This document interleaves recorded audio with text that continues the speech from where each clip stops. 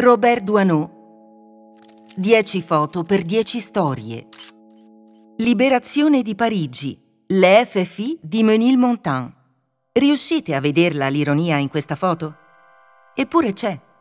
Non si vede perché non è quella voluta dall'autore, ma è l'ironia cosiddetta della sorte. Il giorno in cui fu scattata, Doisneau stava passeggiando per le amate periferie parigine dalle parti di Menilmontant. Non erano giorni qualunque, era l'estate del 44 e Parigi era appena stata liberata dai nazisti. Anche una banale passeggiata poteva rivelarsi tutt'altro che banale.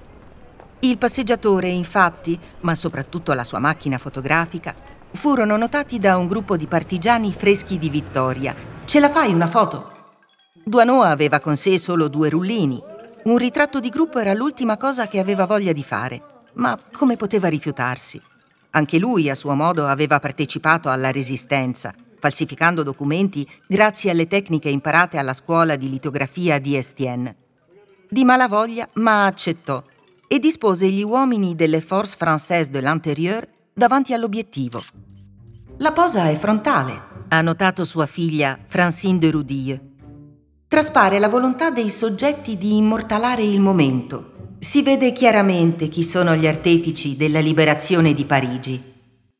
E l'ironia L'ironia della sorte, come ha rivelato Francine, è che molti anni dopo suo padre ha confessato che proprio questa foto, che non aveva nessuna intenzione di fare, in realtà era la migliore che avesse mai scattato.